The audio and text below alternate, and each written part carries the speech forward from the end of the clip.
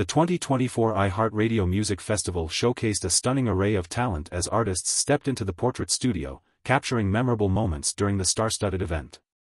With a vibrant atmosphere, musicians and celebrities posed for photos, highlighting their unique styles and personalities.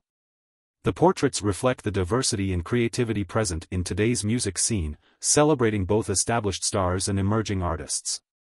Fans eagerly anticipate seeing these iconic images, which not only commemorate the festival but also serve as a testament to the power of music in bringing people together. The festival continues to solidify its place as a premier event in the music industry.